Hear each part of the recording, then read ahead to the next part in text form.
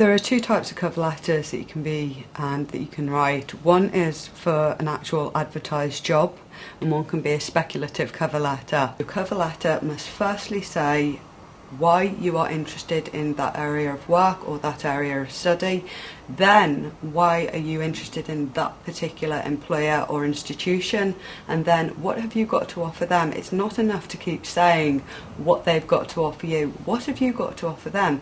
Why should they take you into their organisation? First and foremost, the CV should be fact, not fiction. It is not where you give your opinion. So don't use language like I feel, I believe, or I think. Tell them what you have done. What you need to do is give tangible evidence of why they should consider your application. You might not necessarily have performed a role in the past that's similar to the one you're applying for, but you might have um, you might have demonstrated the skills that they're looking for in another way. So you need to make sure that you get that on the application. So again, it's clear to them why you're applying.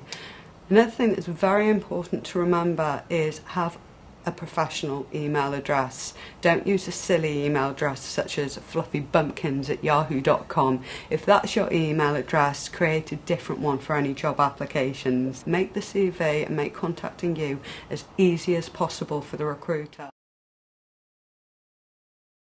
Always, always research as much as you can about the interview beforehand. So try and find out the format of the interview. Are you going to be meeting one person? Are you going to be meeting a panel? Are you going to have to do any exercises such as written exercises, role plays? Try and find this out so you don't have any unpleasant surprises on the day. A really important thing to do is try and find out who are the interviewers and do a bit of research on them beforehand. For example, if you've got three people interviewing you, who are they? What are their positions? The reason for this is very important. Those people are there for a reason. If there's any way you can actually meet somebody beforehand, maybe for a coffee, just find out what the environment's like, see if anybody you know knows anybody who works there. That will obviously help. The worst thing somebody can do when they go for an interview is not prepare. If you don't prepare, that's going to be evident. Even if you get asked questions you don't know the answers to or weren't expecting, if you've done your preparation, that can still come across in your answers and the recruiter will know that. Interviews are always very intimidating. It doesn't matter how well you think you know the role or how prepared and how good you think you are, it's very daunting.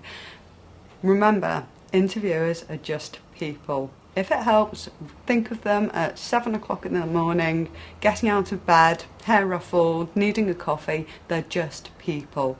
I myself have been to interviews where I've prepared very, very well and my last interview, not a single question was one that I'd been anticipating, and I was put on the spot and felt very awkward.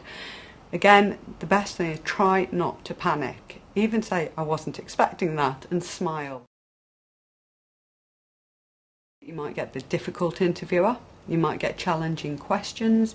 Again, more often than not, these are tactics used by interviewers to see how you handle situations under pressure. It's not necessarily that they want you to give the perfect answer, they want to see how you actually respond to that. So try not to trip up. Like I said, do ask for a moment to think, have a sip of water if necessary. They do understand, they want to see how you handle it because they want to see how you will handle difficult situations when you're working for them.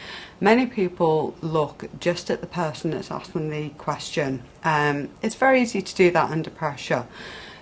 The best thing to do particularly if you've got a few people on the panel, is to start your answer by looking at the person who's asked the question and end your answer by looking at them. But throughout the course of your answer, try and look at everybody on the panel. When I was in my last interview and I was asked questions that I really felt I couldn't answer, I said that. You shouldn't feel intimidated and have to create something on the spot because you will only let yourself down. Say what you're really thinking. If you would normally do preparation in order to complete a project, say that. And then maybe tell them how you would prepare, what kinds of things you'd consider. Don't feel that you have to give a specific answer. Answer to the best of your ability, and that will take you a lot further. If you don't get the job, don't despair. Ask them why. Now, more often than not, the first answer to a response for feedback will be something very generic and not really very helpful. That's not really right. You've taken the time to research, to apply, to go along, you've gone through the trauma of an interview, and it's reasonable to expect the employer to give you feedback as to why you've not been successful. So don't accept that first no. Go back to them and say, I would really appreciate you letting me know so that I can perform differently in future interviews. But also think yourself, do you know? Did you have that gut feeling? Do you actually know why you haven't why you haven't got the job? And trust that maybe it wasn't the right job for you. You spend a long time in a job and it's important to make sure that the job's right for you as well. So don't despair, just apply for another one.